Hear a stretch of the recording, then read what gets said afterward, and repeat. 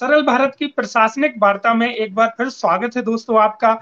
जैसा कि हम हर बार देश के विभिन्न क्षेत्रों से प्रसिद्ध पर्सनालिटी जो अपने क्षेत्र में बहुत बेहतरीन काम कर रहे हैं, उनको आमंत्रित करते हैं और उनके अनुभव दर्शकों के साथ साझा करते हैं।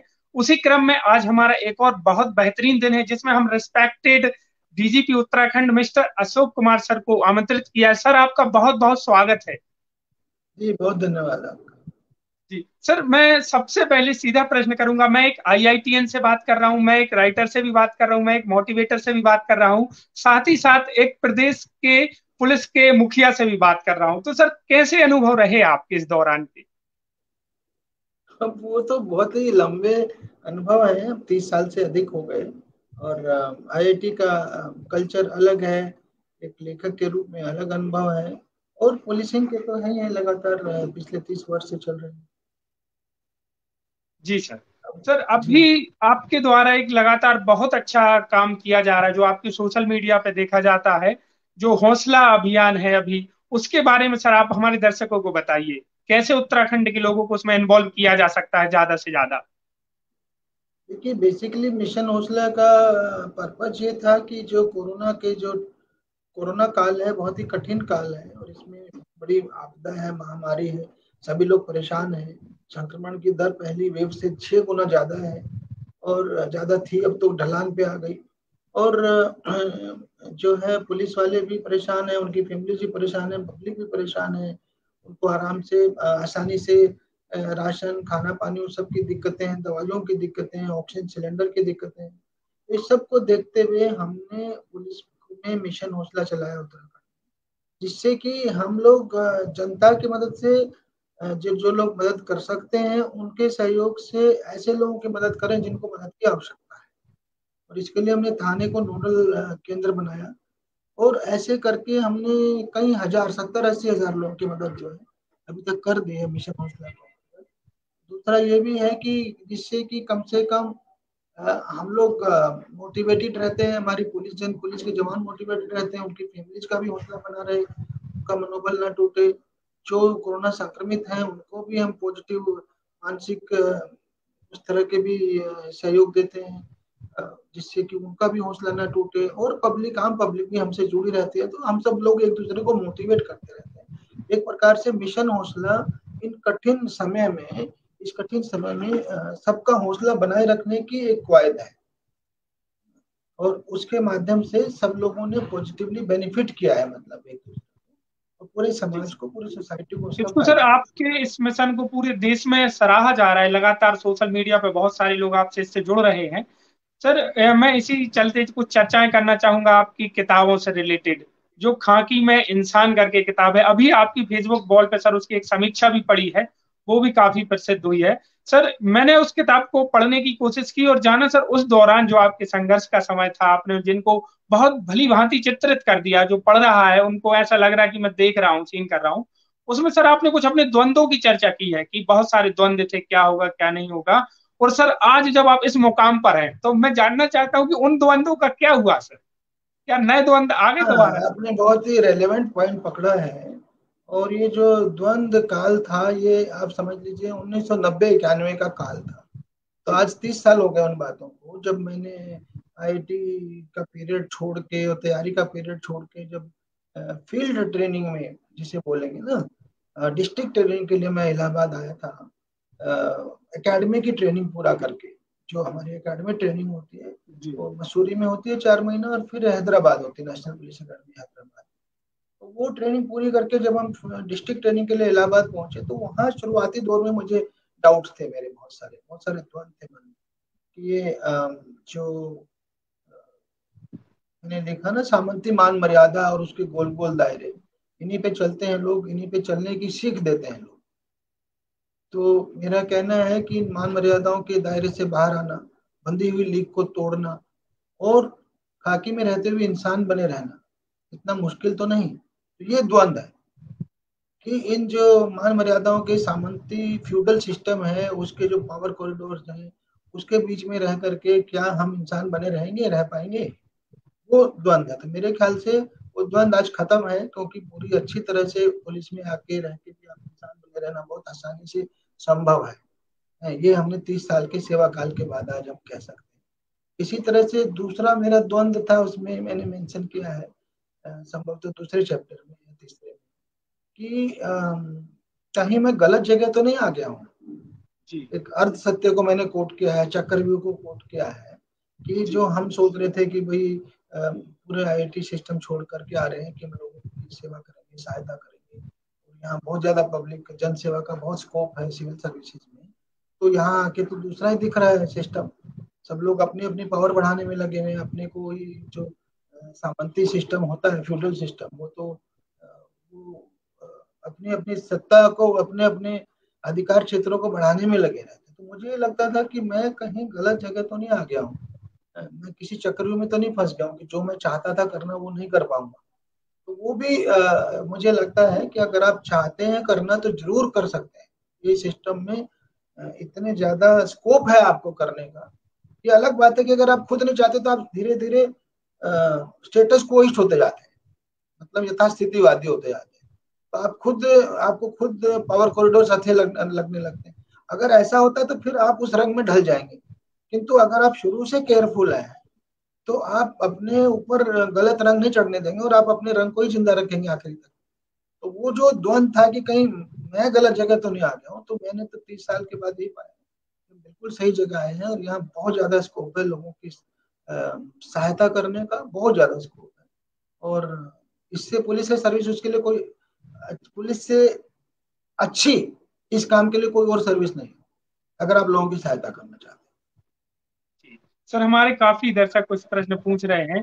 सर, मुझे एक और प्रश्न इसी से संबंधित मैं एक दर्शक का लेना चाहूँगा। लोग कह रहे हैं, सर, आप काफ़ी साहित्य प्रेमी हैं। तो वो लोग जानना चाह रहे हैं, युवा हैं स्पेशली कह रहे हैं कि, सर, आप कौन सी किताबें प्रेफर करते हैं? आप किन को पढ़ते हैं? और एक डीजीपी के तौर पर आप अभी क्या पढ़ते हैं? कौन सा साहित्य पढ़ते हैं? मेरे इंटरेस्ट जो है लाइफ में पढ़ने में चेंज भी होते रहे हैं। जी। और हाँ, मैंने मतलब हिंदी साहित्य भी बहुत पढ़ा है। प्रेमचंद जी से लेकर के अज्ञे से लेकर के मुक्ति बोध से लेकर के मैंने हिंदी साहित्य काफ़ी पढ़ा है। और फिर मैंने हिंदी के माध्यम से बंगाली साहित्य बहुत पढ़ा है। शरद चंद्र मेरे फेवरेट रहे कभी शरद चंद्र चट्टोपाध्याय। एजेज है स्टेजेज होते हैं। किसी फ़ेज़ में वो बहुत फेवरेट थे फिर मैंने रशियन लिटरेचर बहुत पढ़ा है। वो भी अच्छा। हिंदी और इंग्लिश दोनों के माध्यम से दोस्तों मिस्की वगैरह वो भी मेरे बहुत ही फेवरेट रहे बल्कि टोलस्टॉय को लोग बहुत बड़ा वो करते हैं। मैंने टोलस्टॉय को भी पढ़ा है बट मुझे दोस्तों इसकी ज़्यादा अच्छे लगते हैं। इसी तरह से मैंने इंग्लिश लिटरेचर भी बहुत पढ़ा है। मतलब मार्क ट्वेन से लेकर के और चार्ल्स डिकन्स तक। काफ़ी पढ़ा है मैंने तो सर मैं, मैं जानना चाहूँगा कि सर एक वेस्टर्न कोई राइटर जिसको आप सबसे ज़्यादा पसंद करते हैं और एक कोई इंडियन राइटर जिसको आप सबसे ज़्यादा पसंद करते हैं? मैंने कहा ना वो फेजेस में चेंज होता रहता है। अच्छा। मेरा पॉइंट समझ गया ना? कभी मैं दसवीं क्लास के बाद मैंने पढ़ना शुरू किया। सबसे पहले तो मैं फोर्थ क्लास में मैंने महाभारत पढ़ ली थी। तो महाभारत आज भी मेरा फेवरेट है है ना? तो डिपेंड करता है, वो एज के साथ भी चेंज होता है। उन दिनों कुछ और पसंद था महाभारत का, आज कुछ और पसंद है। फोर्थ क्लास में जब मैंने पहली बार पढ़ी तो दसवीं के बाद मैं लिटरेचर रेगुलरली पढ़ रहा हूँ। किंतु जैसा मैंने कहा कि एक स्टेज में मुझे शरद चंद्र बहुत फेवरेट थे मेरे। आज आज भी मुझे अच्छे लगते शायद पर उतना मैंने इतना पढ़ लिया, उसकी ज़्यादा पढ़ने की वो भी नहीं है। तो डिपेंड करता है, जैसे आज की तारीख में मैं कहूँ, मैं आज की तारीख में नॉन फिक्शन ज़्यादा देखता हूँ। है ना नॉन फिक्शन ज़्यादा पढ़ता हूँ। जैसे आर्कियोलॉजी में और मैथोलॉजी में इसमें मेरा इंटरेस्ट है। आजकल मनोज बाजपेयी सिनोली पे जो वो निकली है सिनोली की जो खुदाई हुई है महाभारत काली जी जी। उस पे उनका काफ़ी अच्छा वो आया है एपिसोड तो उस तरह की चीज़ों में मेरा इंटरेस्ट है। तो मतलब कहीं ना कहीं लिटरेरी साहित्यिक वर्ल्ड से जुड़े हैं और उसमें भी मैं पोइट्री भी पढ़ता हूँ कहानी भी पढ़ता हूँ और उपन्यास भी पढ़ता हूँ पढ़ता रहा। हूँ आज की डेट में जब से एक्टिव पुलिसिंग में है उनके लिए समय कम रह गया। ठीक है? जी। अच्छा उसमें एक जनरे है मैं बता दूँ हिंदी में खासकर जो जो हमारे एपिक्स को या इतिहास को इतिहास को कथा के रूप में प्रस्तुत करते हैं। आप समझ रहे मतलब जैसे सोमनाथ शास्त्री जी की आचार्य चतुर्सेन शास्त्री की है वैशाली की नगर वधु। सोमनाथ। हाँ, इस तरह की कहानी मुझे बहुत पसंद है। क्योंकि वो कहीं ना कहीं हमारे पास्ट में भी पी पीन करती हैं और उस उस समय की संस्कृति साहित्य और उस समय की समाज का और कहीं ना कहीं आज भी रिलेवेंट है वो। यस नहीं और वो आइडिया भी लगता है ना जब सोमनाथ के पे अटैक हुआ तो उन दिनों भारतीय सोसाइटी क्या थी? किस तरह का माहौल था? तो उसका चित्रण आपको देखने को मिलता है। ये याति करके किताब है खंडेल खंडेकर की। मराठी होता रहा साहित्य अकेडमी अवार्ड ज्ञानपीठ अवार्ड मिला। तो बहुत अच्छी है ये याति यानी कितना पुराना हिस्ट्री आपको देखने को मिलता है हिस्ट्री और मैथोलॉजी से जुड़ी सर मैं एक और अगर आपको याद हो तो उसने अपना बुढ़ा अपनी जवानी दे दी थी अपने फादर को। ये ये सर ये हाँ। तो उसमें ऐसी बहुत सारी मैंने कहा बहुत वैरायटी की चीज़ें मैं पढ़ता रहता हूँ पढ़ता रहता था। आज की तारीख में एक दुनिया समानांतर जैसा। हाँ? एक दुनिया हाँ? समानांतर किताब सर आपने शायद पढ़ी होगी मुझे आशा है। ये मुझे एक दुनिया पढ़ी। अच्छा उसमें भी सर लगभग यही कहानियाँ हैं। अच्छा ये किन्होंने लिखी है? ये किताब किसने लिखी है? राजेंद्र यादव जी ने सर। राजेंद्र यादव जी। अभी वर्तमान में यूपीएससी की सिलेबस में है हिंदी साहित्य में ही है। अच्छा अभी यूपीएससी में लगी है एक दुनिया समानांतर? हाँ लगी सर यूपीएससी में लगी है। अच्छा, राजेंद्र यादव जी हमारे टाइम में आगे की किताबें लगती थी ना? शेखर अच्छा, एक हाँ, हाँ। और गोदान ये सब था प्रेमचंद। हाँ हाँ सर। गोदान तो अभी भी लगा हुआ है। अज्ञे जी की भी काफ़ी है। सर मैं आगे बढ़ता हूँ। कुछ अच्छे प्रश्न आ रहे हैं सर। एक दर्शक पूछ रहे हैं सर जब आप चामोली में एसपी थे उस समय पूरे उत्तराखंड में काफ़ी उपद्रव हो रहा था लेकिन चामोली सर सबसे शांत ज़िले में गिना गया था शांत जगह में था। तो सर आपने उस समय एक यंग थे आप तो काफ़ी यंग तो सर अभी भी आप बिल्कुल दिख रहे हैं उस समय काफ़ी यंग थे तो आपने सर कैसे वो चीज़ें हैंडल की? क्या कुछ रणनीति सर आपने अपनाई? आप युवाओं लोगों को क्या बताना चाहेंगे? कैसे वो सक्सेस मिली आप बेसिकली एक तो हमने जब आंदोलन शुरू हुआ शुरुआती दौर में आरक्षण विरोधी आंदोलन। फिर धीरे धीरे उत्तराखंड राज्य निर्माण आंदोलन में परिवर्तित हो गया। और हमने उसमें शुरू से एक स्टैंड लिया कि भाई हम राज्य निर्माण के विरोध में तो है नहीं। उन दिनों यूपी के पार्ट थे 94 की बात जब मैं एसपी चमोली था और रुद्रप्रयाग भी चमोली ज़िले का ही अंग होता था। तो आ, हमने कहा कि हम तो आपके पूरे आंदोलन के समर्थक हैं। पहला स्टैंड हमने ये लिया। तो आप जब तक आंदोलन पीसफुल रखेंगे हम आपके पूरे आंदोलन का सहयोग मतलब वो सपोर्ट करेंगे और आपके ज्ञापन वगैरह सब ऊपर जो है राष्ट्रपति जी या गवर्नर महोदय सबको भेजते रहेंगे।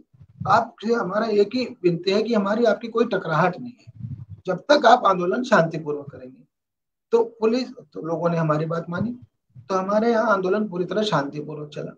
फिर एक फ़ेज़ आया एक दो दिन का, जब जो है रामपुर तिराहे में बहुत बड़ा कांड हो गया और बहुत सारी उसमें लोग प्रभावित हो गए, हिंसक घटनाएँ भी हुई और बड़े बड़े आरोप भी लगे लड़कियों के साथ बदतमीजी के। तो ऐसे में थोड़े से लोग एजिटेटेड हुए। बहुत ज़्यादा लोगों में गुस्सा था, स्वाभाविक भी था, गुस्सा स्वाभाविक। तो हमने उसको भी एक दो दिन आसानी से शांत होने दिया, गुस्से को। और फिर उसको और ठंडा करने के लिए हम लोगों ने एक प्रकार से आपसे स्पोर्ट्स डिप्लोमेसी किया। हमारी पुलिस लाइन में हमने कभी उनके साथ, युवा पीढ़ी के साथ क्रिकेट खेला, कभी फुटबॉल खेला। वो सब जो है पॉजिटिव रहे और नॉन वायलेंट रहे। सबसे बड़ी बात है कि नॉन वायलेंट रहे। तो हमारे यहाँ इसलिए आंदोलन शांतिपूर्ण रहा कहीं जगह, हर जगह लगभग डेथ हुई चमोली में कोई एक भी व्यक्ति की मृत्यु नहीं। सर आपका जो पुलिस में जो आपका वो देखा जा रहा है मतलब आप काफ़ी समाज सेवा में इन्वॉल्व रहते हैं बहुत ज़्यादा सोशल मीडिया पे आपको बहुत सारा युवा फॉलो करता है देख रहा है। सर जो कम्युनिटी पुलिसिंग है, वो सर उसको आप कैसे देखते हैं? ये समाज से कैसे जोड़ती है पुलिस को? और क्या कहना चाहेंगे सर बहुत सारे यूपीएससी एस्पिरेंट भी ये इंटरव्यू देख रहे हैं सर तो आप उन लोगों से भी क्या कहना चाहेंगे कम्युनिटी पुलिसिंग को लेकर? कम्युनिटी पुलिसिंग एक प्रकार से कम्युनिटी के लिए पुलिसिंग है, कम्युनिटी की मदद से पुलिसिंग है।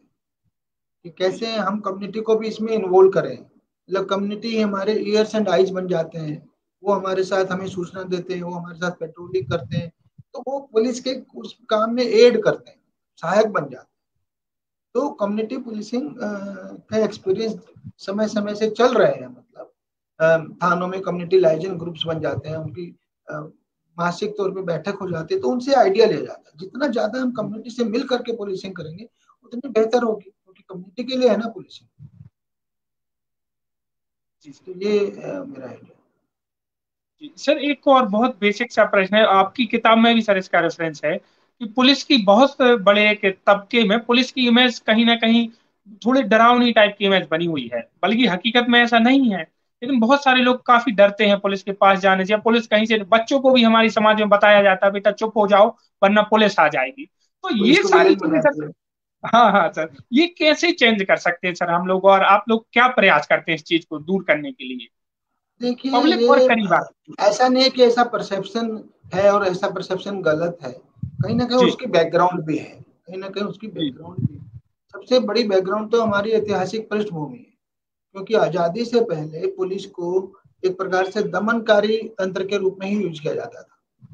जो लोग आज़ादी के आंदोलन में शामिल होते थे उनके उनके अगेंस्ट कार्रवाई करने के लिए जो लोग टैक्स वगैरह नहीं देते थे लगान नहीं देते थे उन पे कार्रवाई करने के लिए इसलिए जो उसकी हिस्ट्री है हमारा जो पास्ट है उसमें कहीं ना कहीं यूज़ ऑफ़ फोर्स है ठीक है? तो वहाँ से वो इमेज बन गई कि पुलिस तो डराने के लिए पुलिस तो पावर को उसके लिए।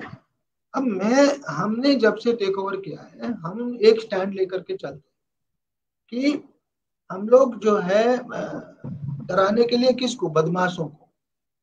शरीफ आदमी को ठीक है तो ये फ़र्क जो है करने की ज़रूरत है। यद्यपि जो पुरानी हिस्टोरिकल लीगेसी है, उसको तोड़ने में बहुत समय लगेगा और हमारे बहुत से लोग हैं जो आज भी कहीं ना कहीं गलत गतिविधियों में इन्वॉल्व रहते हैं। मैं नहीं कहता पुलिस के लोग हंड्रेड परसेंट सही करते हैं। कई बार ऐसे उनके केसेस सामने आ जाते हैं तो उनपे हमें एक्शन लेना पड़ता है उनपे सस्पेंशन वगैरह करना पड़ता है। किंतु जो इमेज ज़्यादा खराब है पुलिस उतनी खराब नहीं है पहला पॉइंट क्योंकि जो ब्रिटिश कालीन पृष्ठभूमि थी वो तो खत्म हो चुकी है। उससे बहुत आगे आ गए हैं और आज की तारीख में हम तो यही स्टैंड लेते हैं कि ऐसी पुलिस बनाए जिसमें आम आदमी को देख करके पुलिस को देखकर खुशी महसूस हो। डर नहीं खुशी महसूस हो। कि अब पुलिस आ गई अब हमारी सहायता होगी। हमारी बात सुनी जाएगी।